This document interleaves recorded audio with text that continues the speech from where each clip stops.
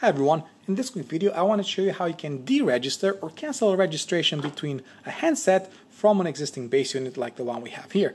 So right now if you look on the top left side of the screen on this particular unit you will see that we have signal which means that the unit is connected to the base unit. Right? The handset is connected to the base unit behind it.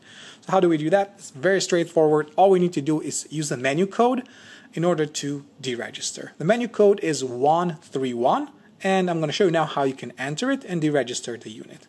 So all we need to do is press the menu button and then press the hash key, which is this one right here next to the zero number, and then enter 131. This will already get us to the option to select which handset we would like to deregister. Please bear in mind that handset 1 is usually the one that sits in the base unit if you purchase the unit, it usually comes with a, a handset and that one is already pre-registered from factory. If you just bought them separately, then it might be a, different thing. But in our case, handset number two is this one that we're holding over here. So we're just going to select that, press OK. It's going to ask us if we want to confirm. Uh, we're going to say yes.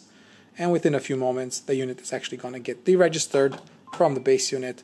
And then if we put it back into the charger and bring it back here into focus you will see that it says please wait one minute. Um, and then it gives us the message to actually register it because now it's it's not registered anymore. We cannot uh, actually take calls. We no longer have that signal okay?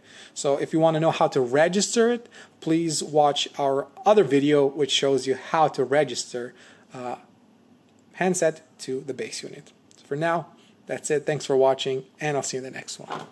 Bye bye.